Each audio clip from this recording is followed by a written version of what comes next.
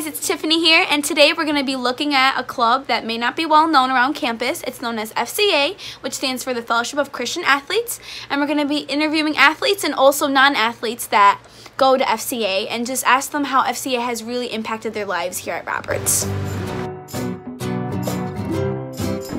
Hi, I'm Matt. I'm the leader of FCA, and uh, FCA is really it's a group of athletes and non-athletes, and we really exist to sort of create a community in between the athletes and the non-athletes of Roberts. Yeah, we host a variety of events uh, on campus. We recently had a March Madness thing last semester.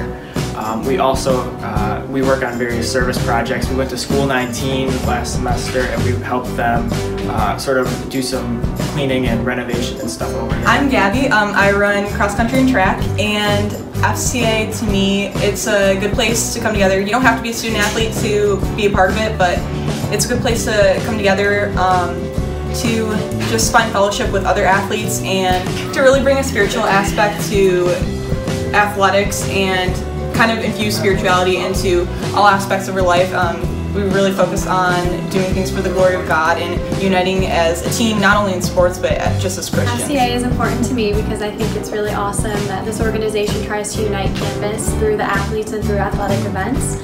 Um, for example, when we did our March Madness, we had just a bunch of minute to win it games and it was so much fun. We were all yelling, running around. It was crazy. So FCA is important to me because I think it's awesome that um, the organization tries to unite all of campus through athletes and through like And uh, yeah, I'm a student athlete here at Roberts, and something I love about FCA is just uh, really just being able to involve my faith into what I do uh, on the field or uh, you know during track. Hey guys, so just to recap, FCA will be held at 9 p.m. on Wednesdays in Cox Auditorium, and they will also have a night chapel on November 4th, so make sure to go check that out. Um, it'll be a really great time to just worship the Lord together and just get together as a campus.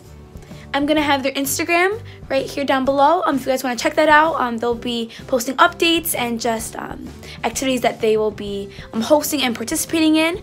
So um, I hope you guys like this video. Make sure to give it a thumbs up and make sure to subscribe. Until later, guys.